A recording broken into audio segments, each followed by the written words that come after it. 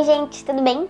No vídeo de hoje, uh, no... no vídeo de hoje eu vou falar sobre um assunto que eu acho bem importante, assim, para vocês entenderem como é que funciona melhor aqui Portugal e tudo mais. E então eu vou contar 10 coisas que eu gosto muito uh, daqui, né? E eu tenho, já no primeiro vídeo que eu fiz sobre o porquê que eu vim pra cá e tudo mais, eu falei que lá no Brasil eu não me sentia bem, né? Por vários motivos que vocês conseguem ver nesse outro vídeo. E aqui eu tenho me sentido muito bem, as coisas têm acontecido e tudo mais. E eu vou explicar para vocês o porquê, né? O que que eu gosto tanto daqui, porque eu tô me adaptando super bem. As pessoas me perguntam ah, como é que tá a adaptação e tal. Super tranquila, super de boas. Mas cada um é cada um. Eu vou relatar, obviamente, as minhas experiências, né? O que que eu acho, o que que tem acontecido comigo. E é isso. Então vamos começar? Então, primeiro eu vou começar com 10 coisas que eu amo aqui, que, tipo, fazem toda a diferença na adaptação.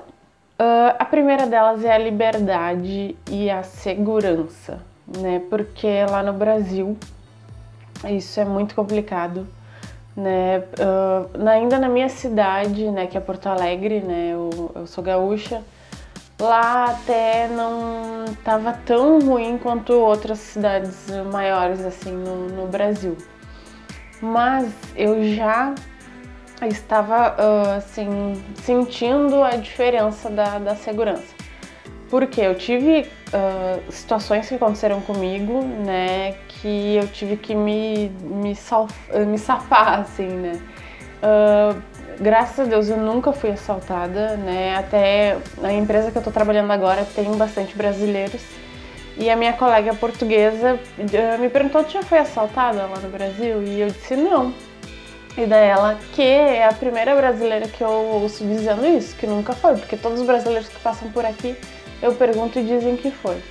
Pois é, eu, eh, né, graças a Deus nunca fui, né, mas eu já passei por situações de tipo assim, eu tá no ônibus e eu ver que tinha pessoas estranhas assim que iam fazer alguma coisa e eu descer do ônibus ou até eu de carro, né? Uh, teve uma vez que um motoqueiro veio na minha frente e se jogou, assim, foi uma coisa muito bizarra. E aí eu vi que aquilo ali ia dar problema, dei ré e saí correndo, sabe? Foi uma coisa muito estranha, assim. Uh, então já aconteceram situações bem estranhas que eu sabia que ia dar problema, mas que eu assim, me safei, né? Então eu sempre andava com o celular na, dentro da calça, dentro da bota, andava com o celular velho muitas vezes. Eu no, nos lugares que eu ia no centro da cidade, eu ficava com o celular assim dentro da calça, não podia ficar com o celular na mão. A bolsa sempre de lado, assim, na frente, ou a mochila sempre na frente, nunca mochila nas costas, né? Coisa que aqui eu faço super tranquilamente, né? Não, né? Eu ando com a mochila nas costas, eu fico com o celular assim andando, escutando música tranquilamente, no metro também, né? E coisa que isso não acontecia no ônibus, era horrível para mim andar de ônibus. Eu andava poucas vezes de ônibus lá no, no Brasil, mas já era horrível. Porque eu ficava cuidando o tempo todo, não, eu não ouvia música, porque eu não, não podia ficar com sono de ouvido, porque a pessoa ia saber que eu ia ter celular. Então, e para andar na rua também, eu ficava olhando para trás o tempo todo, ficava cuidando tudo o tempo todo, em locais assim com grandes pessoas, com grande fluxo de pessoas, ficava cuidando o tempo todo. Então é uma vida complicada assim, de tu ter que cuidar tudo o tempo todo. E aqui, graças a Deus, não é assim, né? Existe sim um nível de criminalidade, né, com coisas específicas, com certo tipo de violência, mas é bem diferente do que lá no Brasil, que o pessoal andava armado, matava por nada e coisa assim. Uh, e eu quero deixar claro que eu não estou falando mal do Brasil. O Brasil é um país incrível, tem um potencial incrível, mas as coisas estão realmente complicadas, né? Minhas vivências, minhas experiências versus as coisas assim que eu tô falando as minhas experiências daqui, né? Eu quero que vocês foquem nas coisas boas daqui que eu quero mostrar para vocês. Uh, tá bem, e a próxima, o próximo tópico é as pessoas. Né? Eu estava preocupada assim se ia ter algum tipo de preconceito né, se ia ter uh, por eu ser brasileira e tudo mais. E realmente tiveram algumas coisas específicas, por exemplo, para alugar casa.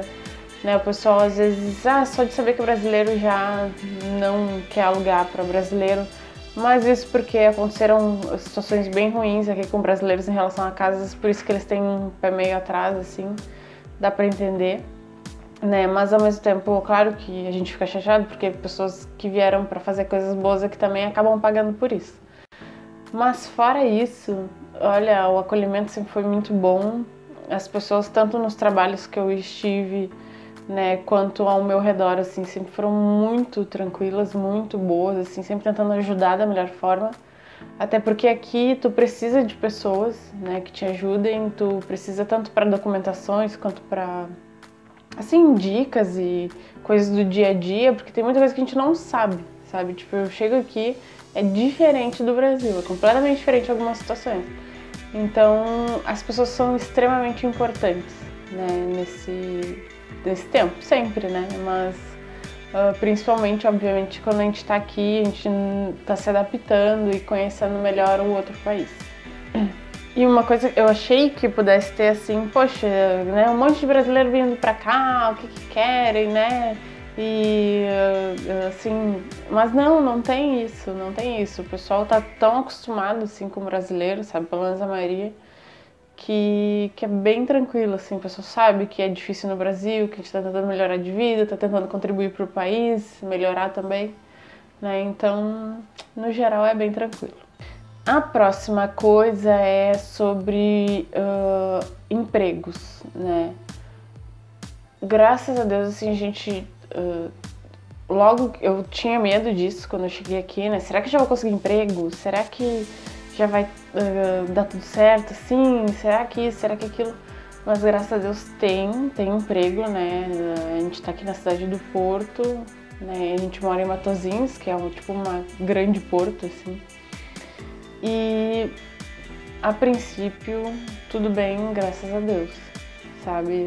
Tudo, tudo se encaminhando bem. Né? Diferente do Brasil, que a gente via que era bem complicado e tal. Mas graças a Deus no Brasil eu não passava por isso, porque eu, enfim, tinha as minhas, minhas profissões, né? E aqui eu meio que comecei do, do zero, assim, né? Até porque você sabe que eu tenho esse sonho de continuar com o YouTube, fazer essas coisas, ajudar o mais número de gente possível. Então eu precisava, enfim, preciso me sustentar aqui, né? Então eu precisava de um emprego. E também para me manter por aqui. Uh, uma outra coisa que eu queria falar é sobre a cidade. A cidade aqui onde a gente está é Matozinhos, como eu acabei de falar é muito bonita. Tipo, a cidade é, é. Porto também é muito lindo. As cidades são muito bonitas aqui. A gente tem gostado muito, assim, a gente tem. Onde a gente vai, a gente tenta olhar, tenta ver as ruas mesmo, assim. Né? Claro, tem uh, algumas partes mais, assim, feias, como no Brasil, é normal, mas no geral é muito bonito, assim, tem a praia, tem tudo, assim, muito, muito bonito. A gente acha bem limpo também, normalmente. Eu, lá no Brasil, eu lembro que a gente até comentou isso, eu e o Gabi, que a gente sujava muito os tênis, assim, tipo, os tênis ficavam sujos pra caramba. Aqui não, tipo, é uma coisa tão estranha, de, demora pra ter que limpar os tênis, assim, porque não fica tão sujo, é engraçado. Então, o próximo tópico é acesso às coisas. Então isso era uma das coisas que mais me incomodava lá no Brasil, né? De não ter acesso fácil financeiramente às coisas, tá? O que eu quero dizer com isso? Por exemplo, ir ao cinema, sabe que é uma coisa que eu amo, amo, amo ir ao cinema. Lá tu tinha que, tipo, dispendiar muito mais assim, do teu salário para ir ao cinema. O cinema lá é 50 reais, 70 reais, 80 reais para duas pessoas, sabe? se fosse final de semana, de repente só tivesse final de semana para ir, teria que despendiar todo esse dinheiro. E, sabe, é uma coisa muito ruim, assim. A uh, comida também, né? Uh, eu lembro que pra gente comprar um salgadinho Ruffles, assim, grande daqueles, nossa, era 15 reais. Sabe, 15 reais, sei lá, a gente podia fazer outra coisa, a gente acabava não optando pelo salgadinho, né? Então era, era complicado, assim, né? Claro, pra quem tem muito dinheiro e coisa é mais tranquilo, mas pra gente que tava tentando fazer a nossa vida, né, trabalhar, fazer as coisas, ter que sempre optar, assim. Claro que aqui a gente tem também que cuidar, tem que optar, a gente quer uh, crescer e tal, mas é diferente, a gente consegue ter acesso melhor às coisas. Então aqui a gente vai ao cinema por 6 euros os dois, porque a gente tem o cartãozinho lá, o, a promoção da WTF, da nossa operadora de celular. Então, sabe, 6 euros, né? A gente pode ir uma vez por semana, por exemplo, no cinema, coisa que lá no Brasil a gente ia uma vez por mês e olha lá, porque tirava muito do salário, e aqui não tira tanto. Ah, sim, e é sobre a facilidade de, de acesso às coisas, o transporte, por exemplo, também. Eu lembro quando eu saí lá do Brasil, acho que tava tipo quase 5 reais a passagem de ônibus, assim, uma coisa muito bizarra, sei lá. Sabe, como é que uma pessoa que ganha um salário mínimo vai pagar passagem, sabe, as contas que não fecham, assim. E aqui tu tem o metro, tu tem cartãozinho do metro, que até uma amiga minha fez um, um vídeo, tá? Eu vou botar o link do vídeo dela aqui uh, no box de informações é, que ela falou sobre o andante. O andante, então, tu consegue, uh, assim, pagar mensalmente. Então, eu pago 30 euros, tá? Que seja uma média de 1 euro por dia. E eu posso andar 3 zonas, que é relativamente longe da minha casa, assim, por 1 euro. E eu posso ir e voltar quantas vezes eu quiser. Então, eu posso ir pro trabalho, posso ir pro shopping, depois vou voltar pra casa, depois ir pro trabalho, depois... Sabe, eu posso fazer várias coisas por esse mesmo valor, é mensal e tal. Mas olha a diferença, o quanto que a porcentagem que vai tirar isso do meu salário. Outra facilidade que nós temos aqui é a facilidade de viajar para outros lugares. Então, Portugal, claro, é menor assim do que o Brasil, né? A gente consegue ir uh, para outros lugares, consegue ir para Lisboa de carro, consegue ir para, enfim, praias e tal de carro. Além disso, a passagem de avião é muito mais barata, assim, uh, fazendo uh, proporcionalmente. Né? Então, por 30 euros, por 15 euros, tu consegue comprar uma passagem de avião para ir pra, até para Espanha, que é aqui do lado. Né? Então, essa facilidade de conhecer outros países, conhecer outras culturas, né? A Europa é, assim, tem uma diversidade incrível que é possível e acessível de se conhecer.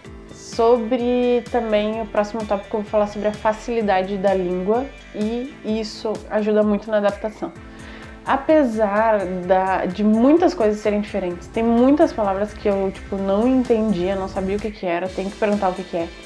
Por exemplo, eu vou dar um exemplo que é mais uh, assim, mais próximo assim. Tem bala, balinha, bala normal, sabe, de comer e tal. Para eles pode ser goma, né, às vezes, ou pode ser rebuçado também. Ou pode, ou o nosso pirulito, sabe, pirulito? para eles é chup-chup, ou chupa-chupa, alguma coisa assim. Que pra mim, tipo, tênis pra eles não é tênis, é sapatilha, só que sapatilha pra nós é outra coisa. Sabe, tipo, umas coisas assim que, que é engraçado, né? Que a gente tem que se adaptar, né? Porque, que nem eu tava no restaurante e uma cliente perguntou, ah, tu tem um chupa-chupa um rebuçado? E eu, oi? O que que é isso? que era pra bebezinha dela lá, e aí eu, sabe, aí tive que ver o que que era a, a tal da coisa. Mas é tranquilo, claro, né? E às vezes muitas gírias, coisas assim, daí eu tipo, fico assim, tá, o que que é isso, né? O que quer dizer isso? Ou ditados, sei lá, coisas que são diferentes. Mas no geral é tranquila a adaptação, né? Então a língua é a mesma, né? Então, no geral é bem tranquilo, o que obviamente facilita muito a adaptação né? A cultura, tudo é bem, bem tranquilo e parecido. Uh, o próximo tópico é sobre uh, comida, tá? Assim, eu e o Gabi a gente não come peixe, tá? Então, tipo, aqui tem muito peixe, tem muita casa de peixe, tem peixaria, tem restaurante de peixe, então a gente não come, né? Mas o que a gente come no dia a dia? A gente come arroz, feijão, batata palha, nuggets, coisa que a gente comia lá no Brasil, entendeu? Igual, né? Eu e ele, final de semana, a gente passava junto comia essas mesmas coisas. Então aqui o feijão é mais fácil porque ele é enlatado, né? Então já vem pronto, assim, tu só esquenta e tal, dá uma fervida, põe os temperos que tu quer. Bem tranquilo. O arroz a gente faz da mesma forma que a gente fazia no Brasil. A gente demorou um pouquinho para pegar o, o tempo certinho e tal. Um pouquinho diferente, sabe, para cozinhar, mas bem tranquilo também. A gente faz massa com salsicha, a salsicha só vem enlatada também. Sabe, a gente faz sanduíche, tipo, tudo igual. Igual ao que a gente comia no Brasil, é igual. Então, restaurantes, a gente come pizza.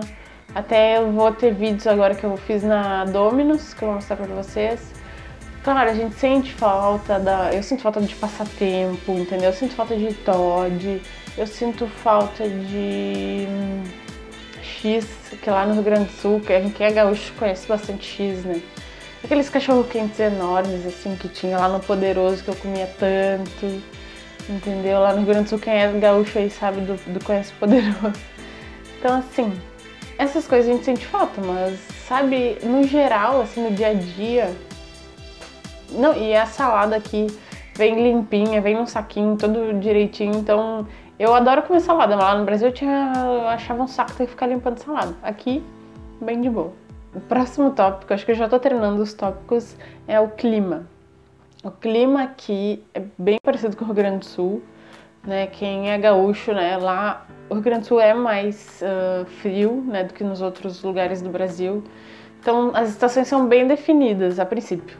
Por que eu vou dizer a princípio? Porque eu não passei ainda no verão aqui. Né? Eu lembro dos primeiros dias que eu cheguei em outubro, só que tiveram dias muito quentes e estava realmente muito quente. Então, creio que as estações são bem definidas, tá? Que nem é no Rio Grande do Sul. Só que aqui tem um vento, né, que é a nortada, que eles chamam aqui, que é um vento que vem do norte, que é muito frio. Tipo, tu tá de boa, assim, no solzinho, quando vem esse ventão e é muito frio, coisa que em Porto Alegre não tinha. Né? Então eu tenho que me adaptar com esse frio só ainda, que como eu sou friorenta, eu tenho que me adaptar com esse vento, na verdade. Como eu sou friorenta, né? esse vento vem assim, eu, ah, muito frio. Uh, também o próximo, aí para finalizar, creio que foram 10 tópicos, vou colocando aqui para vocês. O décimo tópico é sobre transporte, tá? Aqui tu tem muita facilidade para ir nos lugares, né? Não, além de ser de país em país, mas aqui dentro de, de Portugal. Então tu vai ter trem, que é o comboio que eles chamam aqui, tu vai ter o metro e tu vai ter hum, autocarro, que é o ônibus, tá? Uh, e o metro é muito tranquilo de andar, né? Tem todos os mapas ali e tal. Tem vários lugares da, da cidade aqui no Porto, até na Grande Porto, assim, super tranquilo. Mas agora eu vou dar um plus, assim, que eu não gosto, sabe? Que eu não gostei. E já entrando nessa coisa de transportes, o autocarro aqui, que é o ônibus, para mim foi muito complicado me adaptar, assim. Porque como lá no Brasil eu sempre andei de carro e tal, porque eu odeio esperar o ônibus, eu odeio, tipo, o ônibus não vem no horário e eu tenho que ficar lá esperando meia hora. Pra mim, tempo é muito importante, sabe? Tempo que eu podia estar fazendo minhas co coisas, tempo que eu podia estar estudando, tempo que eu podia estar fazendo meus vídeos, tempo que. Então eu odeio ficar esperando. E o, o autocarro, o ônibus aqui é assim, sabe? Ele tem hora, hora certinha, daí eu pensei, bom, tô na Europa, tem a hora certinha, vai estar aqui o ônibus. Não, nem sempre é assim. Às vezes ele vai vir duas, assim, tipo, quando ele não vem no horário que ele vem, ele só vai vir no próximo horário que ele tá para vir. Ou às vezes ele vem só no outro horário, sabe? O que isso me deixava muito irritada, de eu chegar no trabalho atrasada, muitas vezes, que não sei culpa minha, eu, tipo, tava muitas horas antes e não adiantava nada estar tá na parada, sabe? Isso me dava muita raiva. Mas agora que eu tenho que, que eu posso ir de metro pro trabalho, é bem mais tranquilo. Eu tô me sentindo muito tranquila, porque eu chego lá rapidinho, o metro já vem, tipo, no máximo 10 em 10 minutos já tem metro, já vou, já é mais rápido, mesmo que demore um pouco para chegar no serviço. Então, uma coisa que eu não gosto é o autocarro. O autocarro não, não funciona muito bem aqui. Uh, a próxima coisa é a burocracia. Acho que eu já posso ter conversado com você sobre isso em algum outro vídeo.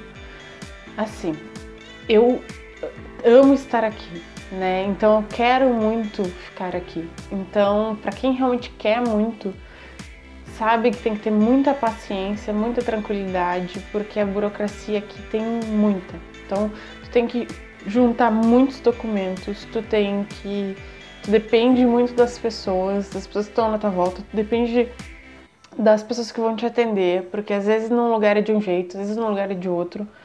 Já me passei até por louca, mas ainda bem que o Gabi tava comigo, porque uma pessoa tinha dito uma coisa para mim, cheguei lá no outro dia, foi completamente diferente. Aí, mas ele tava comigo, então ele viu que tipo, a pessoa tinha dito para nós dois a mesma coisa, no outro dia era diferente, né? Então, tem que ter paciência, né? Tem que entregar para Deus, como eu faço sempre, porque são coisas que a gente não tem, né? Como a gente depende disso, não tem o, o que fazer, assim, né? Tem que entregar, apenas isso. Tem que fazer o que pode, claro, juntando toda a documentação que pode, tem que fazer tudo que pode. Então é isso, pessoal. O vídeo já tá enorme, então eu vou terminando ele por aqui. Uh, eu espero que vocês tenham gostado e façam vocês entenderem um pouco melhor como é que é a vida aqui, né? Que é diferente do Brasil, mas é perfeitamente adaptável. Né? Eu também quero com esse vídeo que vocês me conheçam melhor, saibam os meus interesses, as coisas que, que, que como é que eu vejo as coisas, né? E que eu estou amando morar aqui, né? Eu estou muito feliz de morar aqui, eu quero muito ficar aqui, né? E continuar uh, contando para vocês como é que são as coisas aqui. Uh, apesar dessas pouquinhas coisas hum, complicadas, assim, esses desafios que a gente tem, uh, acho que vale a pena. Né? Vale a pena por um sonho, vale a pena por estar tá vivendo seu propósito, enfim, vale, vale a pena, tá bem? Então tá, pessoal. Espero que vocês tenham gostado. Deixem, deixem sugestões aqui embaixo de vídeos que vocês querem ver, de dúvidas que vocês tenham. E é isso, tá bem? Então tá, até mais. Tchau!